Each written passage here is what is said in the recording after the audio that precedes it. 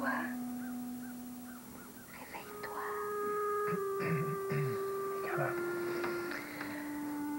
L'heure de partir, si tu veux pas que mon fils s'aperçoive que son prof d'éducation physique est dans mon lit.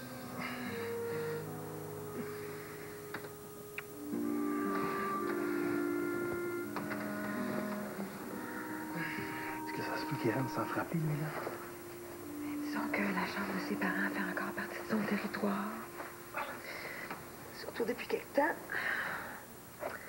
Inquiète-toi pas. euh, Napoléon, c'est un dormeur. T'es belle. 36 ans, puis 36 de tour de taille, je suis pas sûre que ce soit si séduisant. Pas mal plus que toutes les filles vivantes qui se tiennent en Dieu.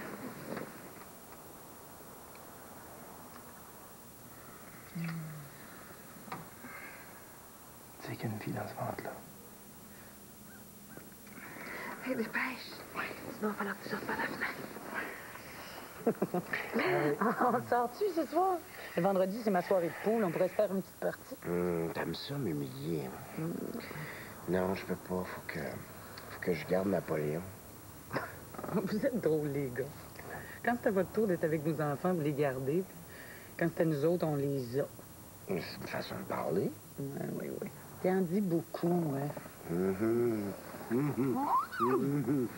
Fermes les yeux, là, Oui. tu t'apercevras même pas que je suis partie. Hmm.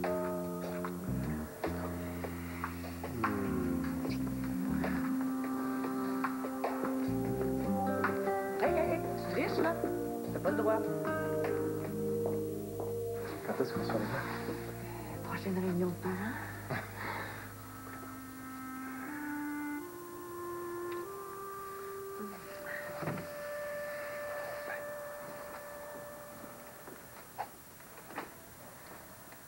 Fais là! T'es somnambule? Toi, tu fais de l'insomnie? J'ai envie de pisser. Toi? Euh, J'ai cru entendre un bruit. euh, c'est rien, le voisin, je pense.